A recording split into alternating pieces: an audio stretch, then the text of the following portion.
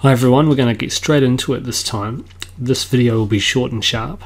What I'm going to talk through is how to set up and the value of lookup tables.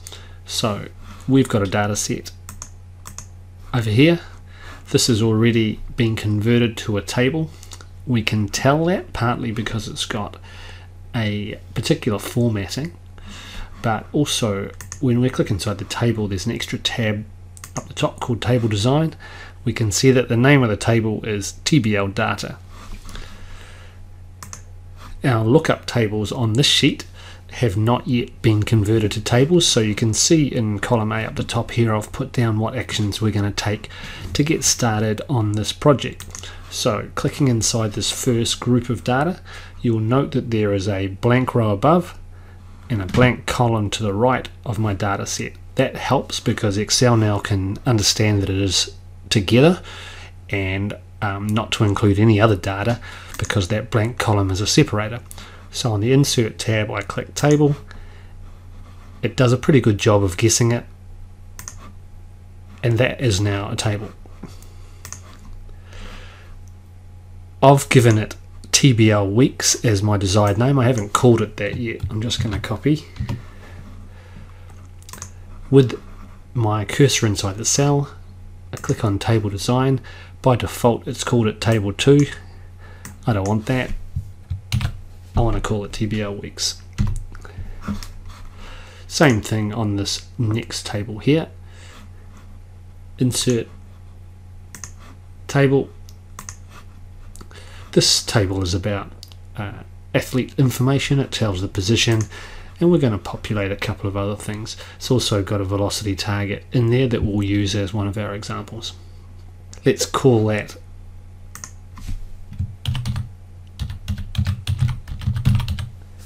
TBL athletes. And finally, our last table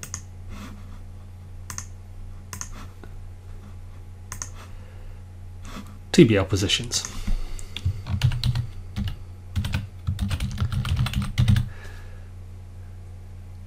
As you can see, I use a pretty standard methodology and um, always prefix Excel tables with TBL. Row number, or step number two here is to comment the tables out. Now I've done that already to save time, but I have hidden the text so it's white font at the moment. I'm going to make it red. And the value of this uh, may not be significant for you if you are working on your own project and no one else is ever going to look at it.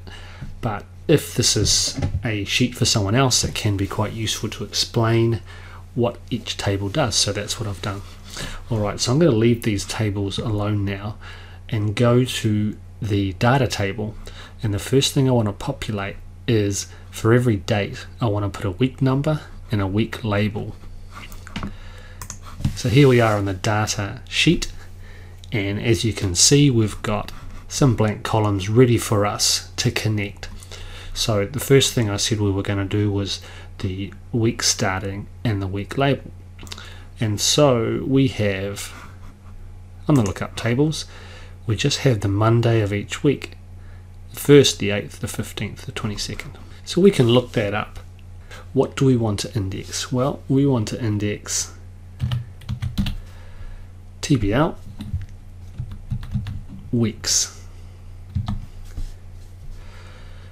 I've now selected the table, but I also want to select the column I want to pull in the beginning of the week, the Monday of every week. So I'm choosing that option. And how am I going to find the correct Monday? Well, I'm going to write a match formula that looks up the date.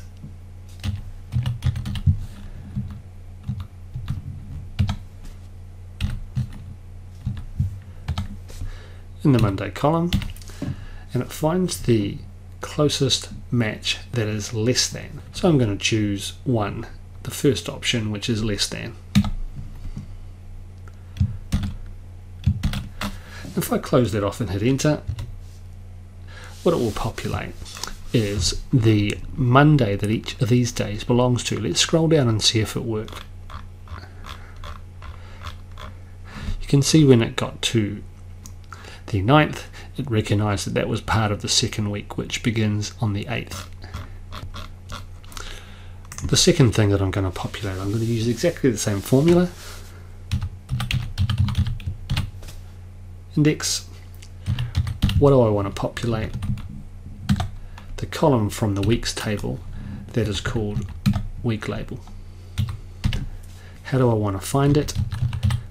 Match function will do that for me by looking at the date. In the weeks table. In the first column. And just like before I choose the first option there which is a less than approximate match. So when I populate that we can just have a little quick check. We can see that it is identifying correctly the dates and which and which week they are a part of. Now what we can do is just to test the water here, I can choose the 1st of October and I can see that that updates correctly so uh, you can pre-populate the formula in the table and enter your dates in and it will automatically select the correct week. Next thing we can populate is the position for each athlete. So we have that in the players table. So same formula. What do I want to look up? When I use a TBL prefix in front of every table. One of the good things about it is if I type TBL in, all of the tables appear and I can just with the up down arrow keys choose the one that I want. I want to pull in the position by matching the name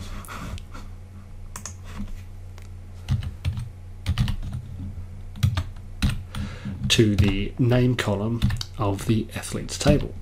This time it's an exact match because an athlete's name is always going to be spelled correctly and we can see here that it is pulled in their position now so we have a much more complete table to do some work with. So now those tables are connected. If we go and change the lookup tables, for example Caroline Masters is here as a defender, if we go and change that and make her a midfield then that will also update in this table because those tables are connected. We haven't typed in midfield, we have connected it. And so that's quite good to know. It may not always be what you want to do, so it's worth being careful, but certainly to be able to update one table rather than have to update each row of a large data set is a much better option. What I want to do now is show you how valuable connecting lookup tables can be. I've got some abbreviated GPS information here. Normally you get a lot more columns of data and different metrics, but I've trimmed it right back to make this example really easy to watch. So we've got uh, distance and max velocity columns here, and let's use both of those. Now you may have you may have noticed that on the right hand side some formula that we're evaluating to an error have now shown to have a value in it. Just going to fix that format quickly. We can see that for a defender, a midfield and a forward, these are the average session distances. So let's use that. That's a nice easy example of how a lookup table can be useful. So we've got defender, midfield and forward and a session average distance. So I'm going to go here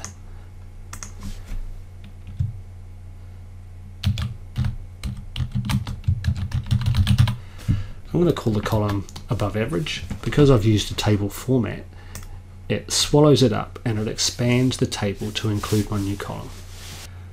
Now what I want to show here is to compare today's distance covered to the average distance covered for each position group. So we've got that in the table, we just saw that a second ago.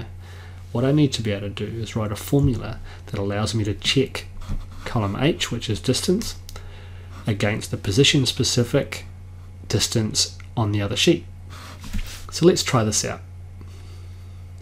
First thing I want to do is simply get the distance from the other table. Just like before I'm going to use index What am I looking up? I'm looking up the position table and I'm looking up the session average distance.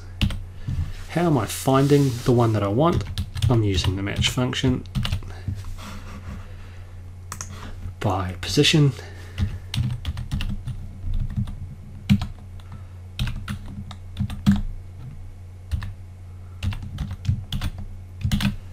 If I close that off, I get our session specific average distance. It's not what I want, but it's a good start. I go right back to the front of the formula and say if today's distance is greater than that distance, then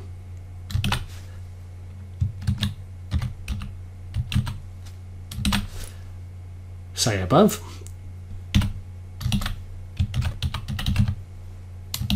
Otherwise say below. Now if I hit enter, that formula changes and it gives me the above and below. I could really easily, for example, add some conditional formatting that says a new rule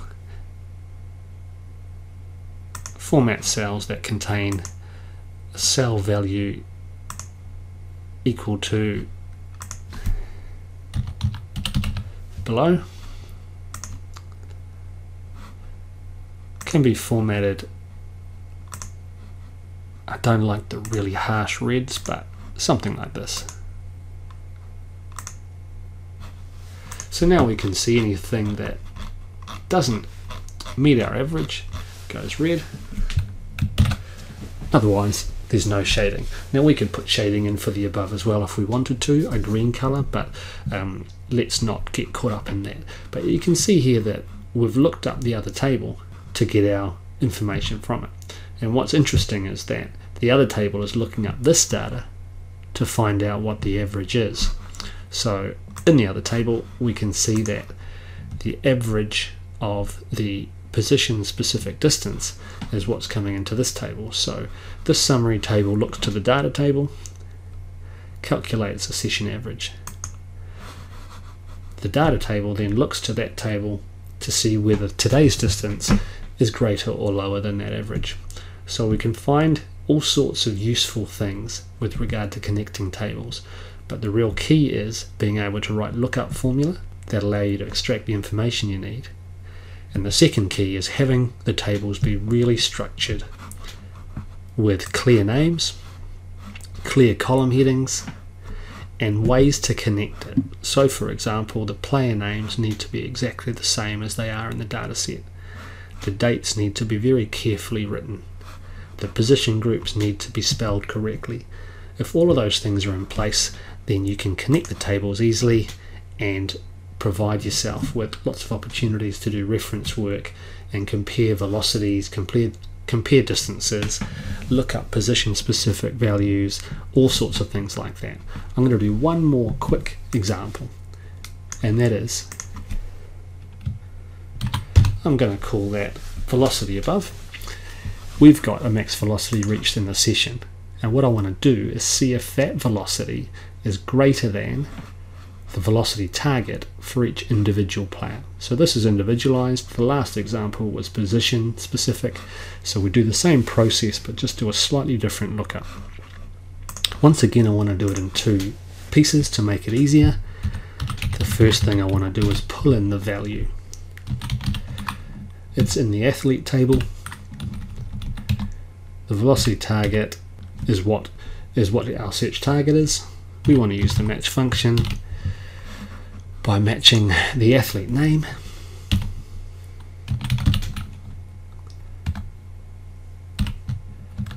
Against the athlete name. And there you go we've got the velocity target. Now we can simply say if this velocity value from today is greater than that, then